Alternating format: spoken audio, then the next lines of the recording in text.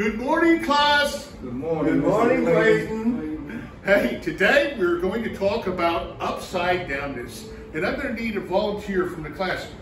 Young lady, would you like to help? Absolutely. Oh, all right. Well, thank you, Clayton. Jessica. Stand right next to me. How about that?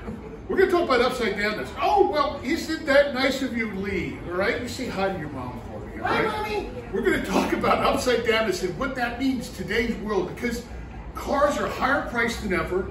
And but here's the thing that you don't understand, class. Your trade is worth more than ever too.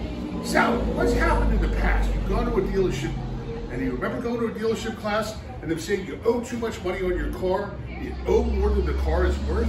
Has that ever happened to you, Lee? Yes.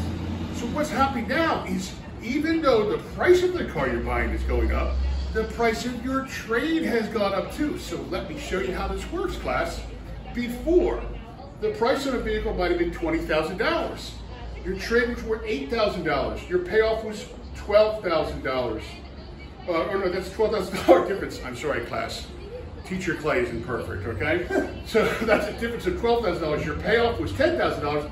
That means you still haven't financed $22,000. The bank said, well, we want $2,000 down because you owe more money on your trade than it's worth. You understand how that works, class? But now, in this beautiful new world of cars being a little more expensive, but your trade being worth more, here's how it works. That same vehicle costs $22,000, but now look, class, your trade is worth $2,000 more too. It's worth $10,000. So it's the same price you're paying for it, but the bank says, that's okay. Now you need zero money down. What a beautiful world we live in, folks, okay? Class, you've been very good today. Now, who am I? Why am I telling you this? I'm Clay from 224 Auto in Lancaster. They call me Professor Clay, the professor of credit. This is my beautiful assistant, Jessica, the queen of credit at 224 Auto. And what do we do above everything else? We make car buying fun.